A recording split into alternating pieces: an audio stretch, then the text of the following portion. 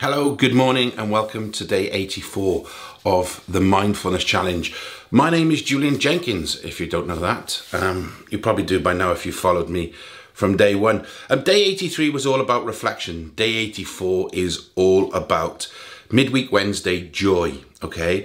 And we've talked many times before now about how, um, how happiness is a level that we're born with and that we can use mindfulness to recreate and change the neuroplasticity that's going on within our minds and to be able to raise our happiness levels.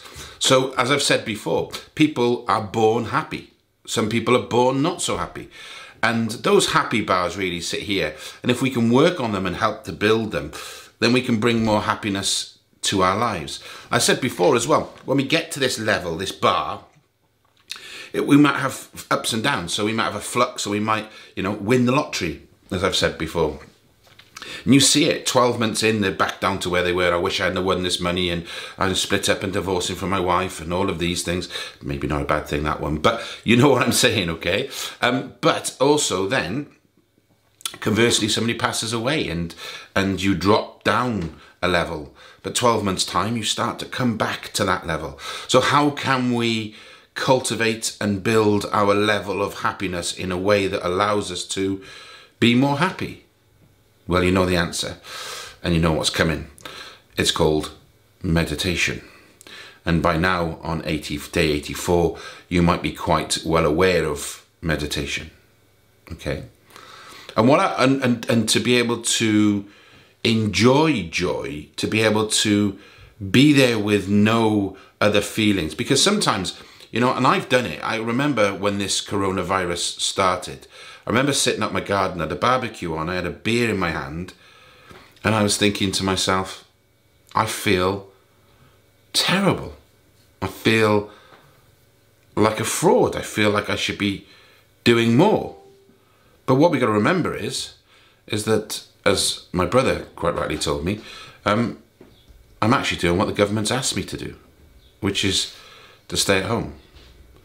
And I'm playing my part by social distancing, not going out. I, am not a doctor, I'm, and unfortunately my, my knee doesn't allow me to go and do a lot of frontline work like I did in the snow of this year and the floods. But you know, it, it's it's it's hard, and I felt really guilty. I felt guilty of my joy, and how many of us can say that you know we have felt guilty over the years for the pleasure that we've had? You know, you hear the saying, "guilty pleasures." You know? And um, is that the same thing? I don't know.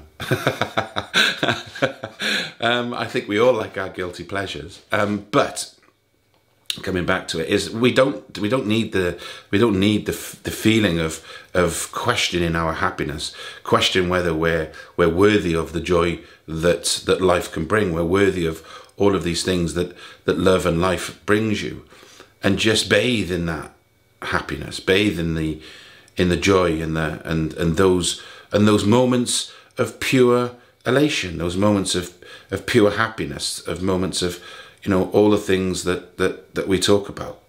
So how can we do that? So I, first of all, I want you to understand innately that, um, and I was talking to someone this morning, our karmic energies, our karmic energies, and if you understand karma, what what what energies you send out, you will get back.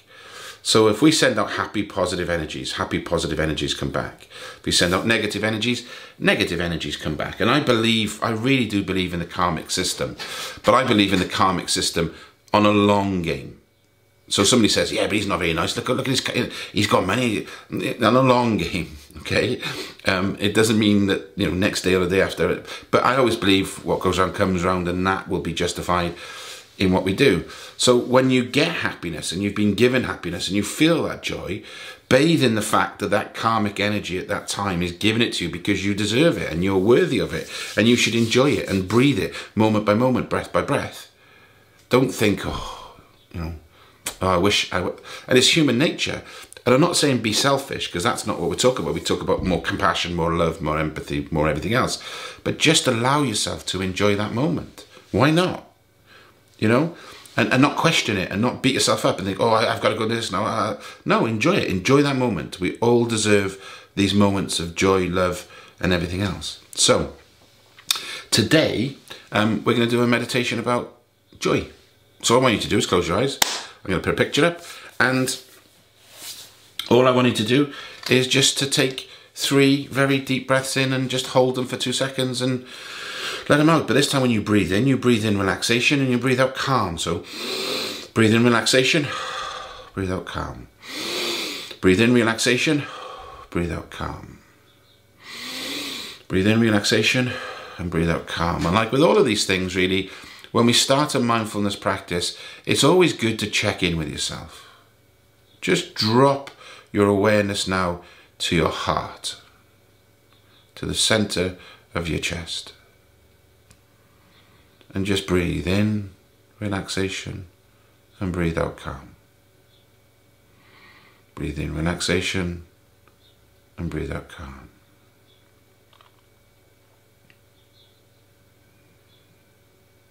Now, what I want you to do is I want you to bring your attention to your neck and just see how it feels and just give it a little wiggle and just you may hear a crack or you may feel, oh, that feels better.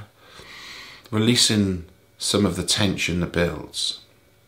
We carry a lot of karmic, cosmic aura, energy on our shoulders. So now I want you just to check into your shoulders and just allow them to allow them some healing and some rest and just let them drop drop it backwards so you just get comfortable in your chair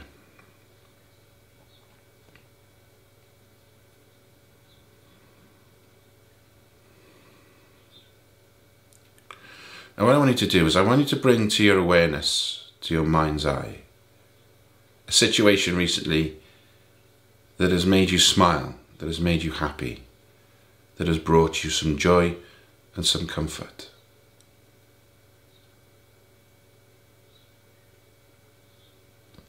And just bring that to mind and just notice how it feels.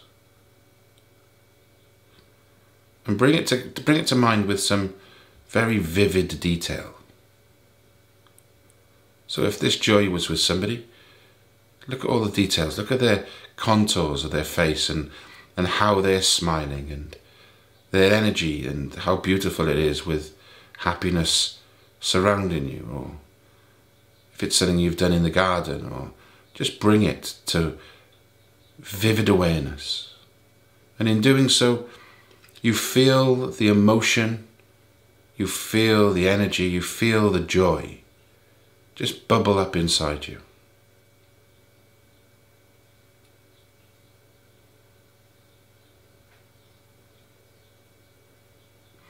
And I just want you to say a mantra. It's as you're feeling all of this and you're seeing the awareness and you're not attaching yourself to it too much, but you have the ability to separate yourself from this memory, this awareness, and to be able to bathe in the beautiful energy that surrounds it. And I want you to say, I am happy. I am worthy. I am love. I am happy. I am worthy. I am love.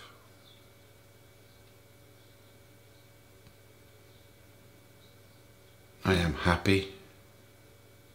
I am worthy. I am love.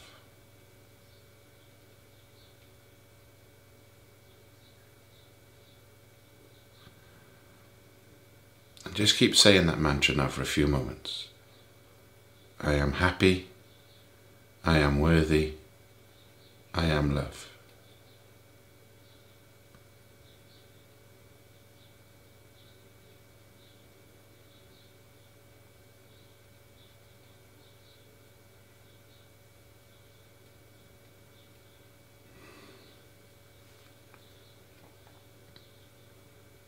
Now, what I'd like you to do is I'd like to bring your attention, your awareness, to a time where somebody you know and you've witnessed them being happy and which witnessed their joy and witnessed their happiness. And see how it feels to watch somebody else be happy and that you now can be happy for them unconditionally. With no aspirations, no jealousy. Just watch them and join in their happiness. Whilst they're being happy, you can be happy too. And even if things aren't going well for you, you can still bathe in the happiness of others without jealousy, without resentment, but just with pure happiness, worthiness, and love. And as you watch this person being happy, it makes you happy unconditionally. And say to yourself, we are happy. We are worthy. We are love. And again, we are happy. We are worthy. We are love. And when you keep repeating this mantra, you feel the happiness energy, the energy of self, and the energy of love build all around you, which allows us to increase our happiness bar within our own mental function, creating through neuroplasticity a new level of happiness. We are happy, we are worthy, we are love.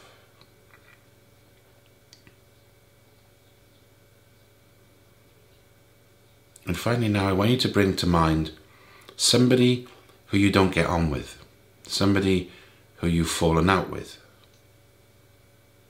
somebody you've had an issue or a problem with.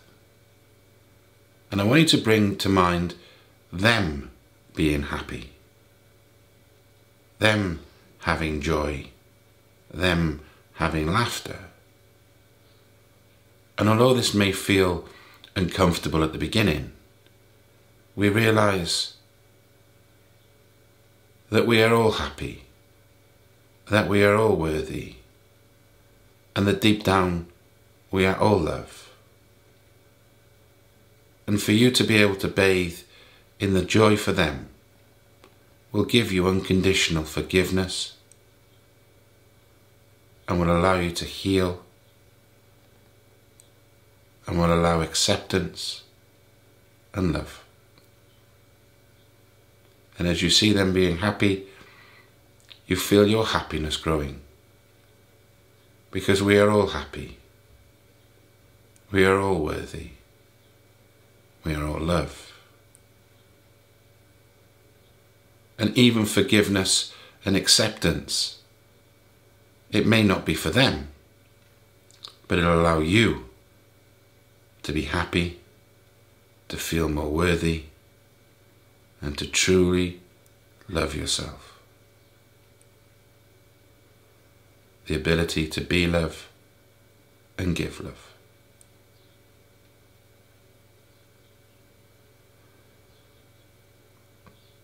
And finally, I would like you to bring to mind to your awareness somebody who's passed over, who you dearly loved and think of a fond, happy memory of the two of you together.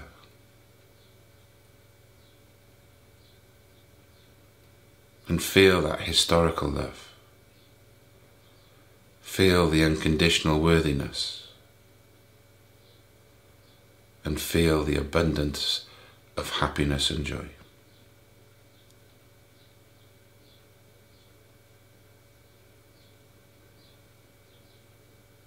We were so happy.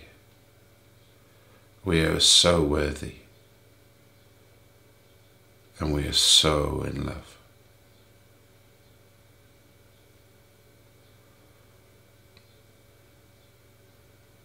And feel that happiness. And the memories may bring an emotion to the tear to the eye. But those tears are tears of joy, tears of happiness and tears of unconditional love.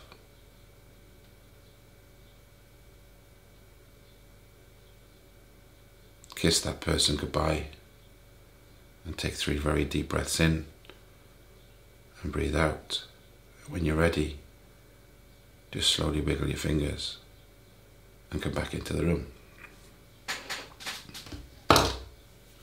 So I sort of went down with you there and then as well, it was lovely. Um, what's interesting about happiness and joy is that it sort of wears many different coats. And the ability to have unconditional happiness and joy for others who may not be our friends or in our best books is loving kindness, which that loving kindness will allow us to have that level of loving kindness for ourselves, which is beautiful and extremely powerful.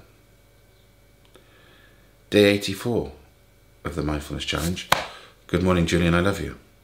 Be love and give love. And remember that unconditionality is key for us to live a world that we want to live in. Unconditional love, unconditional compassion, unconditional empathy. It is in its purest form. There are no conditions. There are no conditions whatsoever, which means there's equality.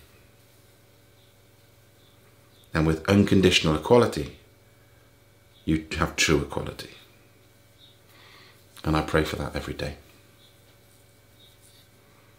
Thank you for being with me on day 64. It's all about joy and happiness. So go and have a joyful and very happy day. And I'll see you tomorrow. Take care. Bye bye.